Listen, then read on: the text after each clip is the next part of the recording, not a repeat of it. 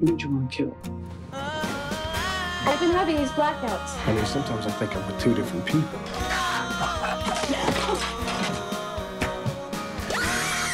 Why didn't it smoke? I didn't smoke. It's pretty gruesome, isn't it? I've never felt like this before. Just give me another chance. I told you to kill him. And I am sick of helping her. Ow! Don't make me.